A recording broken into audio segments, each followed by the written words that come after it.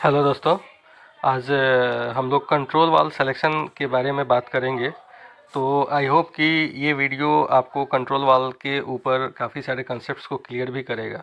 तो चलिए बात करते हैं कंट्रोल वाल सिलेक्शन इन्फॉर्मेशन में।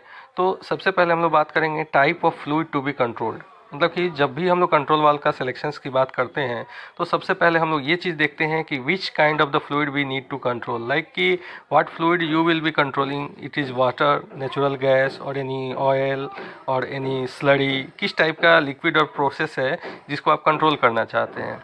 उसके बाद हम लोग बात करते हैं टेम्परेचर ऑफ़ फ्लूइड मीन्स कि what is the temperature of that fluid which we need to control मतलब कि state the worst scenario temperature of the fluid in degree Fahrenheit or Celsius in whichever unit you want to state तो इससे हमें ये पता चलता है कि हमारा वर्स्ट सिनारियो में भी टेम्परेचर क्या होगा। कई बार क्या होता है कि हम लोग का जो प्रोसेस होता है, उसमें डिफरेंट कंडीशन में डिफरेंट टेम्परेचर होता है।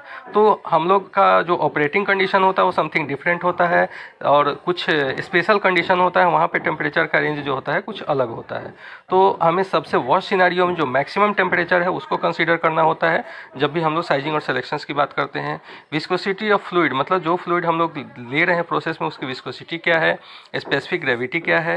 Flow capacity of the control valve is very important तो हम लोग को मैक्सिमम और मिनिमम फ्लो कंसीडर करना होता है कंट्रोल वाल की साइजिंग में। क्यों करना होता है? क्योंकि हम लोग का मिनिमम ओपनिंग और मैक्सिमम ओपनिंग देखना होता है कि मिनिमम फ्लो पे कितनी ओपनिंग है और मैक्सिमम फ्लो पे कितनी ओपनिंग है। It is also mentioned that minimum opening should be not less than ten percent और twenty percent maximum opening should not be more than 80 percent like that at maximum flow तो इस चीज़ को देखते हुए हम लोगों को फ्लो कैपेसिटी भी देखना होता है ओके okay? उसके बाद इनलेट प्रेशर एट वॉल कि what is the inlet pressure at the valve what is the outlet pressure at the valve ठीक है तो इनलेट और आउटलेट प्रेशर देखना होता है, उसके बाद प्रेशर ड्रॉप देखना होता है कि कितना होता है और pressure drop at shut off मतलब ये कम्प्लीटली सट ऑफ़ है। तो उस केस में प्रेशर ड्रॉप हमारा कितना है? नॉइज़ का लेवल क्या रहेगा? वो चीज़ देखना होता है। ठीक है? डिग्री ऑफ़ सुपर हीट और existence of flashing if any अगर कोई इस तरह का सुपर हीट और फ्लैशिंग है तो उसको देखना होता है, ठीक है? उसके बाद inlet and outlet pipeline size and schedule भी हम लोग को कंसिडर करना होता है to select the valve material and its body and bonnet like that ठीक है? उसके बाद हम लोग को यहाँ पे state whether any special tagging information is required for the control valve or not उसके बाद हम लोग बात करते हैं बॉडी एंड बोनट मटेरियल का।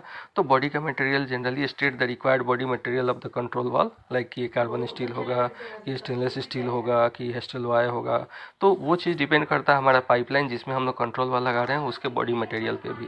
कई बार ये बोला जाता है कि control valve body and bonnet material should be as per the pipeline pipe specification कई बार ये भी बोल दिया जाता है कि पीएमएस के अकॉर्डिंग होता है। कई बार एक बार पाइपलाइन से थोड़ा अपग्रेडेड भी हो जाता है। Depend upon the temperature and process of the fluid end connection of the valve and rating जो भी हमने वाल का इंड कनेक्शन लिया है दैट विल बी वट तो वो इंड कनेक्शन और रेटिंग जो होगा, वो प्रेशर के ऊपर डिपेंड करेगा।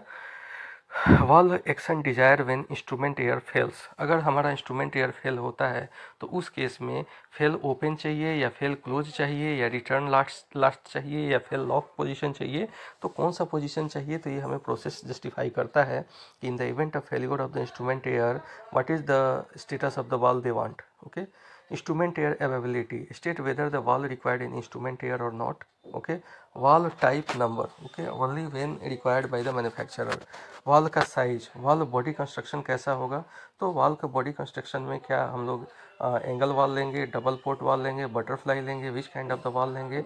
Valve port size state desired valve trim material required means what kind what kind of the trim material means कि inside इसका वॉल के ट्रिम मटेरियल किस तरह का होगा, ये हम लोग क्या लेंगे, इस चीज़ के बारे में बात करते हैं।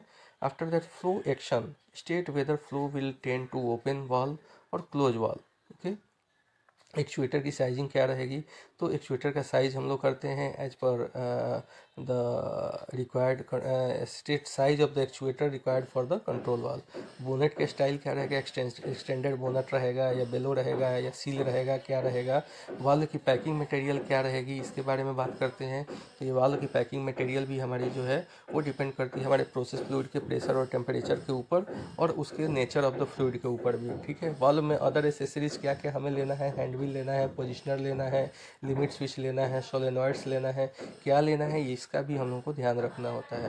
तो फ्रेंड्स, ये जो 27 पॉइंट मैंने आपके साथ डिस्कस किया है these all points are very very important while you are going to select any control valve and going to do the sizing of any control valve हमारे चैनल पे आप बने रहें। We will share again and again various informative video to you to upskill your knowledge thank you very much